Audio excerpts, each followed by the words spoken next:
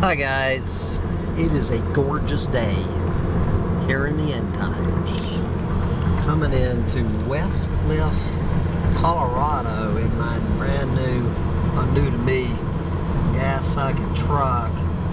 Uh, coming into West Cliff, Colorado on Saturday morning, August 29th, 2015. And this is a little, I just finished up my last rant in front of this horse and buggy crossing sign. There's this Amish community that I'm passing through where these, I don't know if it's Amish or Mennonites. Anyway, it's one of these these groups who have somehow managed to survive as a as a tribe, as it were, without succumbing to the allure, the addiction of the fossil fueled gas sucking truck. And anyway, just seeing uh, these signs reminded me of this humorous story, which I meant to tell, good lord, a year ago and just never got around to it. I just think it's a humorous story. And while I'm driving down the road through Westcliffe, Colorado, where all the one percenters are here looking at real estate today. Uh, I just wanted to share this story about your old uh, eco Nazi eco tourist meeting some Amish people on a Greyhound bus in Oregon last summer.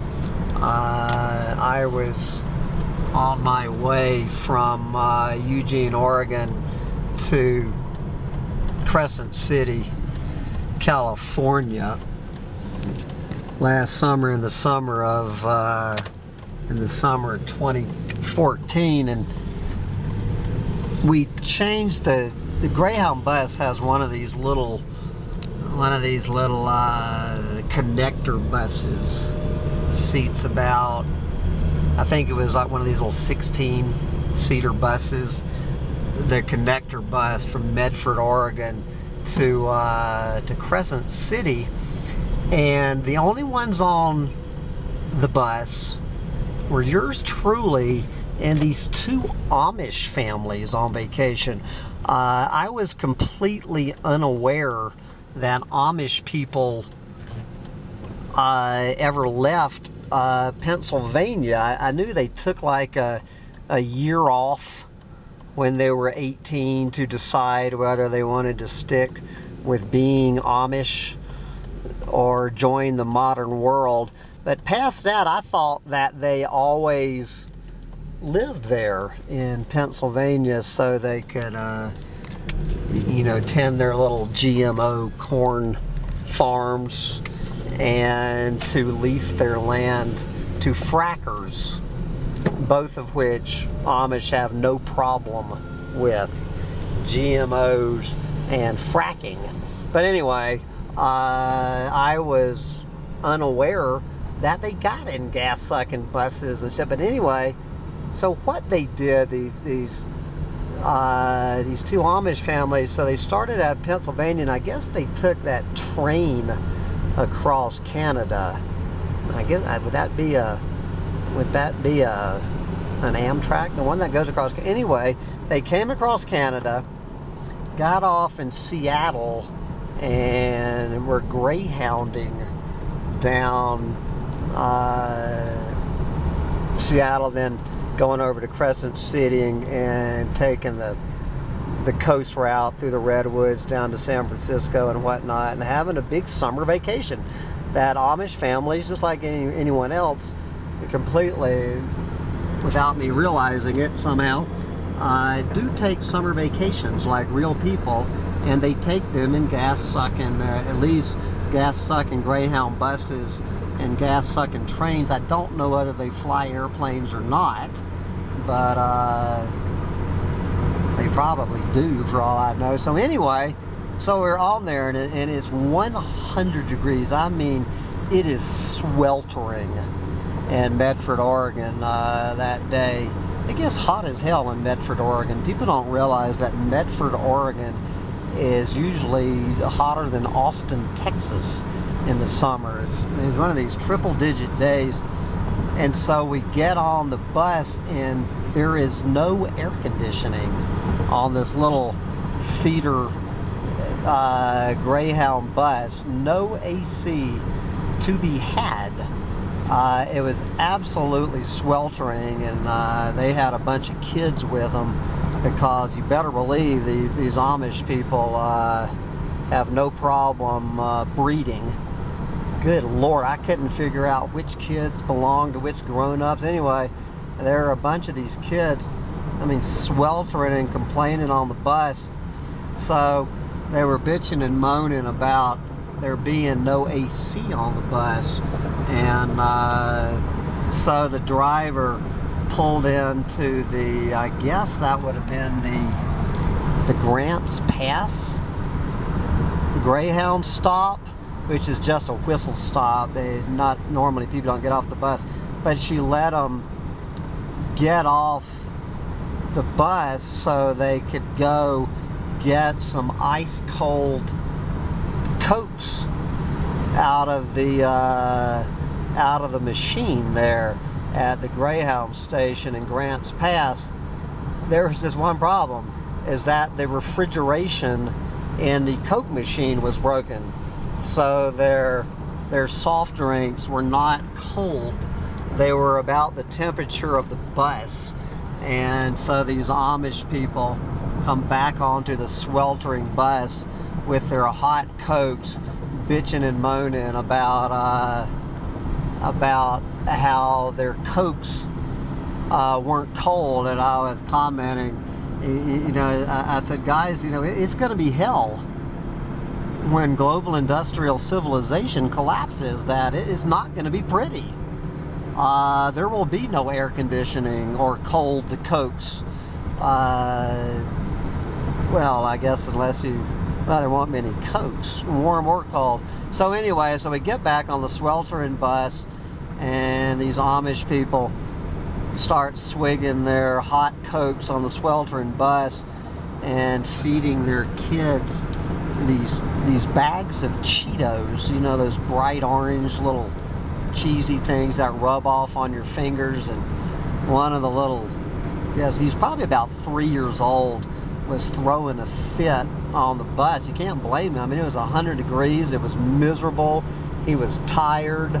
So his mother, you know, she's all dressed up in the little on the in the little Amish uniform, whatever those women wear, uh, that those little cotton sack dresses or whatever.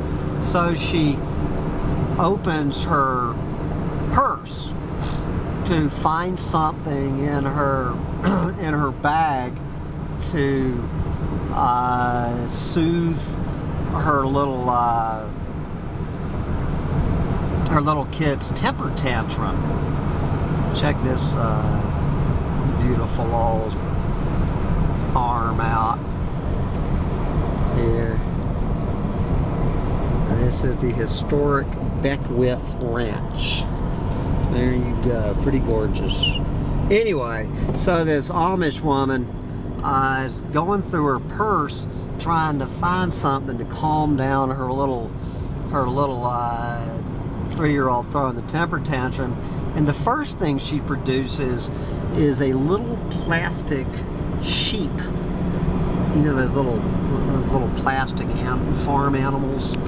So she hands him this little plastic sheep to play with, and he takes one look at the damn little plastic sheep, and he and just I mean absolute fury in his eyes. He throws it across the bus and cranks up his temper tantrum. So she reaches back in her purse again and she pulls out a little plastic cow.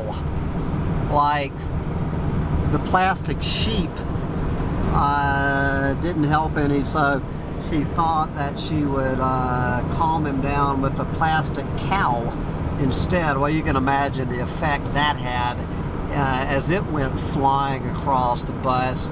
It only served to enrage him more. So she digs deep down into her bag to pull out the, uh, the heavy artillery to calm down her temper tantrum spewing little Amish boy. And what she produces out of her purse is not a sheep or a cow, but it is a bright red little Ferrari Hot Wheels. You know, those little Hot Wheels, those little miniature cars. Thing is this bright red sports car. I don't know if it was a Ferrari or not, guys. Probably was something like a Ferrari. And you should have seen this little Amish boy's eyes. I mean, light up when uh, Mama came through with the uh, with the little bright red Ferrari. I mean, a 180 degree difference in uh, in temperament. He completely forgot about the sweltering Greyhound bus and his hot Coke because he had a bright red sports car in his three-year-old little Amish paws and he was one happy little camper.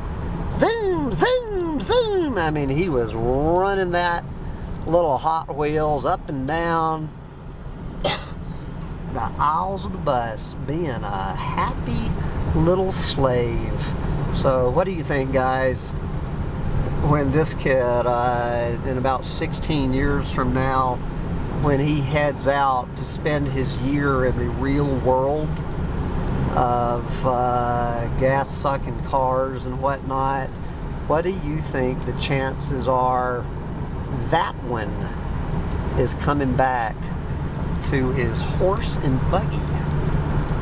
I think you know damn well what the chances are.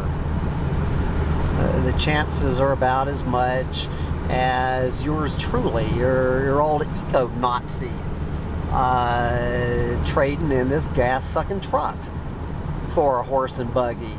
It ain't gonna happen. Because the addiction to fossil fuels is the number one addiction on planet Earth.